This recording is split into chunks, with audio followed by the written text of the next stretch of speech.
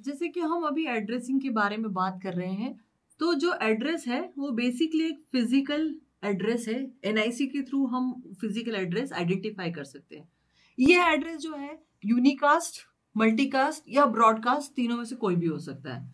अगर मान लेते हैं कि हमारे पास अलग अलग कुछ एड्रेसेस हैं, जो कि फ़िज़िकल एड्रेस हैं तो हम उन्हें देख के बता पाएँगे कि ये किस तरीके का है। क्या ये यूनिकास्ट है? क्या ये मल्टीकास्ट है? या ये ब्रॉडकास्ट है। तो हम तीनों कैटेगरी का एक एक एग्ज़ाम्पल ले लेते हैं।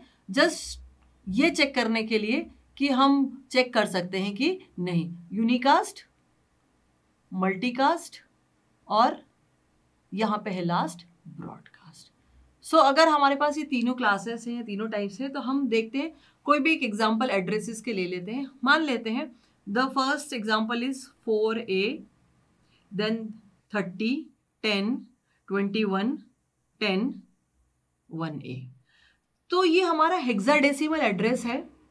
इस हेक्साडेसिमल एड्रेस में हमें सबसे पहले कंसंट्रेट करना है सिर्फ़ फ़र्स्ट बाइट पे। ये फोर बिट और फोर बिट का कॉम्बिनेशन जो बाइट बन रहा है बिकॉज़ इट विल स्पेसिफाई कि ये यूनिकास्ट है मल्टीकास्ट है या ब्रॉडकास्ट है। तो हम सबसे पहले इसको देखेंगे और इसका इक्वेलेंट फोर डिजिट बाइनरी लिखेंगे।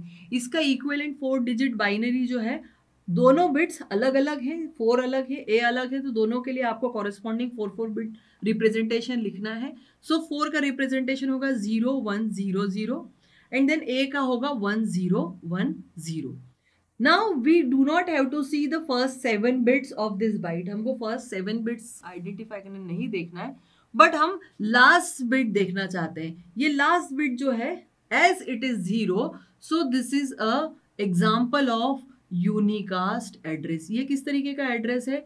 Unicast address. यूनिकास्ट एड्रेस है, इसका मतलब ये वन टू वन, ये एक पर्टिकुलर टर्मिनल से या एक पर्टिकुलर स्टेशन से दूसरे एक पर्टिकुलर रिसीवर या दूसरे एक स्टेशन को जाने के लिए दिया गया मैसेज है। ये सिर्फ़ एक से दूसरे को दिया जाने वाला मैसेज है। सो दिस इज़ हाउ हमने पहली बाइट की लास्ट बिट जिसे हम L S B least significant bit बोलते हैं, उससे आइडेंटिफाई कर लिया कि ये एक कैसा है? यूनिकास्ट एड्रेस है ना we can take another example से ये पूरा का पूरा तो सेम है, मान लेते हैं।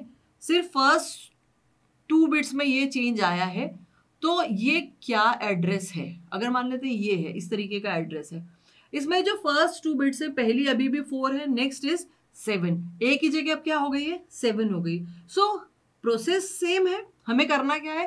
पहली जो ये बाइट है, इसका इक्वेलेंट क्या लिखना है? बाइनरी लिखना है। ईच इंडिविजुअल बिट्स के लिए फोर बिट इक्वेलेंट लिखना है। So zero one zero zero as in the first example और सेकेंड वाला ज़ीरो ट्रिपल वन अब आप देख सकते हैं कि फ़र्स्ट सेवन बिट से फिर हमारा कोई खास फ़र्क नहीं पड़ना है। हमें तो लास्ट बिट देखनी है। Now we can see the last bit as the last bit is one और ये किस तरीके का हो गया?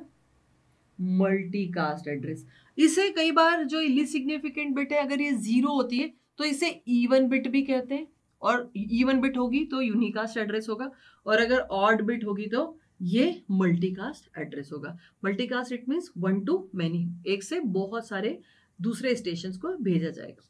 ना if there is one more class एक और अगर हमारे पास अगर एग्ज़ाम्पल है, जिसमें इस तरीके का एड्रेस गिवन है ऑल एफ्स तो ये किस तरीके का एड्रेस है? What type of address it is अगर ये इस तरीके से है तो what address it is as we can see कि इसका इक्वेलेंट अगर हम निकालें तो ऑल वंस होंगे ऑल वंस एफ़ का इक्वेलेंट होता है, अगर हम बाइनरी में बोले तो फिफ्टीन मतलब फिफ्टीन है और उसका रिप्रेजेंटेशन होता है वन वन वन वन चार वंस हर जगह चार वंस तो इसका ये मतलब है, जब सारे वंस हम ट्रांसमिट करेंगे तो वहाँ पर इसका सिग्निफिकेंस होता है कि ये एक ब्रॉडकास्ट एड्रेस है। ये किस तरीके का एड्रेस है? ब्रॉडकास्ट एड्रेस इसका मतलब ये सारे ही स्टेशन को साइमल्टेनियसली भेजा गया है और ये जो फ्रेम है, या, ये जो मैसेज है, ये सब स्टेशन के लिए है। They all can read it और ये कैसा मैसेज है? एक ब्रॉडकास्ट मैसेज है।